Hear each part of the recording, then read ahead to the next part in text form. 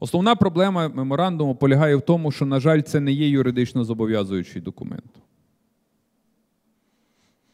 І якщо прочитати його, саме з міжнародно-правової точки зору, то такий документ є спробою надати гарантії територіальної цілісності і незалежності України, а не механізмом надання таких гарантій.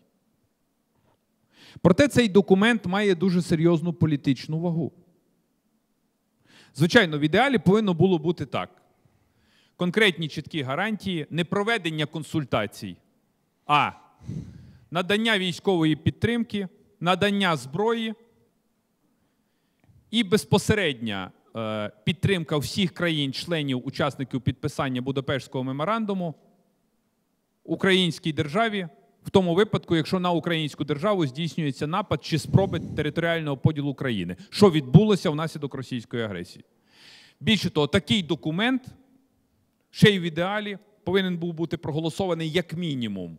Радою безпеки Організації Об'єднаних Націй це як мінімум. Саме завдяки меморандуму Сполучені Штати Америки вони стали flagship, вони стали основною країною по запровадженню санкцій разом з Європейським Союзом і в Європейському Союзі це це Німеччина, це Франція і це наші партнери Балтійські країни, Польща, які запровадили проти Російської Федерації жорсткі санкції.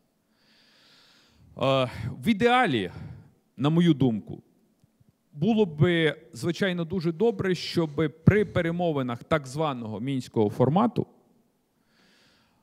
країни-підписанти Будапештського меморандуму стали учасниками цього переговорного процесу з дуже чіткою і жорсткою позицією щодо відновлення територіальної цілісності України і щодо повної і беззаперечної підтримки територіальної цілісності України.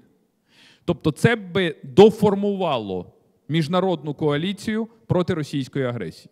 Тому меморандум є підставою для того, щоб країни-члени підписанти меморандуму стали або асоційованими, або безпосередніми учасниками мінського процесу, щоб країни-підписанти Будапештського меморандуму надали реальну військову підтримку українській армії у вигляді оборонювальної зброї, і щоб країни-підписанти Будапештського меморандуму тиснули всіма дипломатичними, економічними, фінансовими і військовими важелями на Росію з метою повного виконання мінської угоди.